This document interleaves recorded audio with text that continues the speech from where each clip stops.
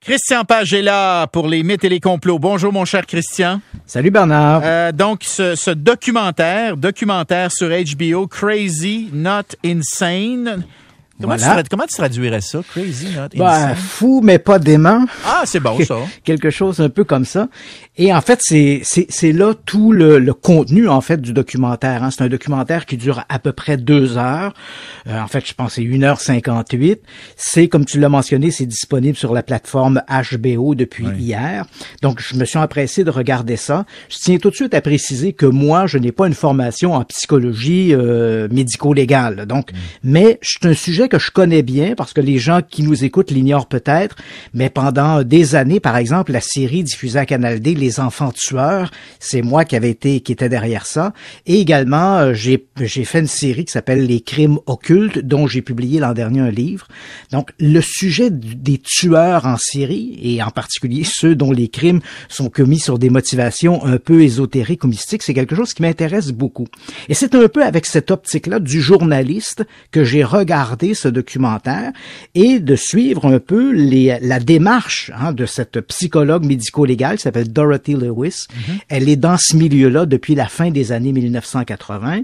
Elle a euh, de nombreuses fois là, témoigné euh, devant les tribunaux, là, soit pour la partie défendresse ou la partie euh, de, du, du procureur. Et euh, elle a notamment rencontré des, des tueurs célèbres et on pense par exemple à Arthur Shawcross ou Ted Bundy. Donc tu vois, c'est c'est dans un éventail, ça fait bien dans un CV d'un psychologue médico-légal de dire bon ben écoute, je me suis entretenu avec 22 tueurs en série, dont l'infâme Ted Bundy. Puis ce qu'elle essayait de découvrir, c'est euh, euh, est-ce qu'ils est-ce qu'ils sont des tueurs en série de par leur bagage génétique ou est-ce qu'ils sont devenus de par leur éducation, de par l'environnement des tueurs en série? Que Ça, c'est très intéressant, Bernard, parce que ça nous amène toujours à la, aux deux mêmes questions. Lorsque l'on parle de la criminalité, on se pose toujours la question qu'est-ce qui est qu'est-ce qui relève de l'inné et qu'est-ce qui relève de l'acquis?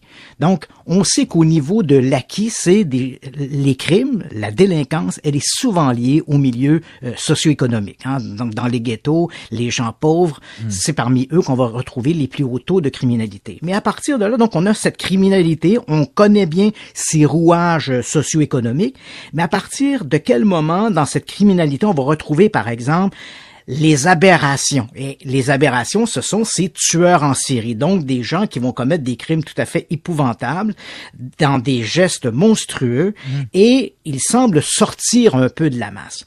Ce que l'on sait à propos de ces tueurs en série, il faut le savoir, hein, depuis la fin des années 70, le bureau d'investigation du FBI, là, le bureau des profils psychologiques, Oui. a établi un bon portrait des tueurs en série. On sait qu'ils ont des dénominateurs communs. Hein, ce sont souvent des gens qui viennent de milieux familiaux un peu brisés. Ce sont souvent des, des gens qui ont été abusés dans leur enfance. Ce sont souvent aussi des gens qui ont eu des chocs à la tête comme s'il y avait eu des troubles neurologiques qui avaient entraîné une forme de psychopathie, parce qu'il faut le savoir, je me rappelle quand j'ai fait mes séries policières pour Canal je me rappelle qu'un psychologue médico-légal m'avait dit euh, tous les tous les tueurs en série sont des psychopathes, mais tous les psychopathes ne sont pas des tueurs en série. Donc on a un trait ici de personnalité qui, chez certaines personnes, va se traduire à l'extrême par ces fameux euh, crimes en série. Et ce que fait le, docteur Lewis, c'est de dire, OK, on a ces gens-là, ils sont visiblement, ils sont atteints de cette, de ces syndromes qui font d'eux des tueurs en série. Qu'est-ce que l'on doit faire avec ces gens-là? Est-ce que l'on doit les, est-ce qu'ils sont finalement responsables de leurs crimes? Et là, c'est sûr qu'on joue dans une zone frontière qui est excessivement nébuleuse. Parce que tu sais que sur le plan légal aux États-Unis, la question n'est pas de savoir si la personne était mentalement instable au moment de commettre son crime, parce que clairement tous les tueurs en série sont des gens instables. La question est de savoir est-ce qu'au moment de commettre son crime, cette personne-là savait qu'elle commettait un geste, entre guillemets, mal. Oui. Et là, c'est là tout le débat. Même si le tueur savait que ce qu'il commettait, le crime était une offense, est-ce qu'il répondait finalement à une espèce de pulsion pour laquelle il n'y avait pas de, il pouvait pas la contrecarrer? Tu comprends? Mhm. C'est un profil psychologique, c'est comme quelque chose que tu ne peux pas contrôler. Et à ce moment-là, s'il ne peut pas contrôler, même s'il sait que le geste est, est, est, contre la loi, est-ce que cette personne-là devrait être reconnue coupable du crime et dans certains cas même être exécutée? Parce qu'il faut se rappeler qu'aux États-Unis, à peu près un État sur deux applique encore la peine de mort. Donc c'est toute cette question-là excessivement je dirais c'est très, c'est très très pointilleux comme question, celle, que pose Dorothy Lewis. Et elle va même plus loin que ça. Et là, ça c'est assez surprenant. Dorothy Lewis, elle est plutôt partisane de l'hypothèse ou d'un phénomène en psychologie médico-légale qui est, qui est loin de convaincre tout le monde, qu'on appelle le syndrome dissociatif de la personnalité. Oui. Et ce syndrome, autrefois, on l'appelait la personnalité, la personnalité multiple. Donc, est-ce que oui ou non des gens peuvent faire basculer leur conscience vers une espèce d'autre personnalité qui, elle, va devenir la responsable du crime? Et il faut savoir, Bernard, que dans le milieu de la médecine euh, psycho-légale, on n'est pas convaincu de ça. Hein. Il y était un temps où on acceptait que des gens puissent avoir des personnalités multiples. Et puis à un moment donné, euh, les psychologues ont dit tout ça, c'est des, c'est des fumisteries. Ce n'est pas vrai. On a changé le terme. Mais encore aujourd'hui, on est loin d'être convaincu de la réalité de ce syndrome-là. Et même s'il existe, on se questionne encore sur la profondeur du syndrome. Imaginons qu'une personne a une personnalité qui peut comme ça exploser en deux ou trois personnalités. Est-ce qu'il est, est-ce qu'il est réellement inconscient de l'existence de ces autres personnalités? Donc, il passe de la personnalité A à la personnalité B, B sans le savoir. Ou est-ce qu'il est conscient de ces autres personnalités et les utilise essentiellement comme étant des boucs émissaires pour ou bien euh, euh, faire face à certaines situations particulières. Donc cette personnalité, elle est plus, euh, c'est une personne qui va, c'est une personnalité qui sera plus agressive, donc elle pourra répondre à tel ou tel stimuli extérieur. Mhm. Ça c'est très très controversé dans le dans le au niveau de la psychologie ou de la psychiatrie.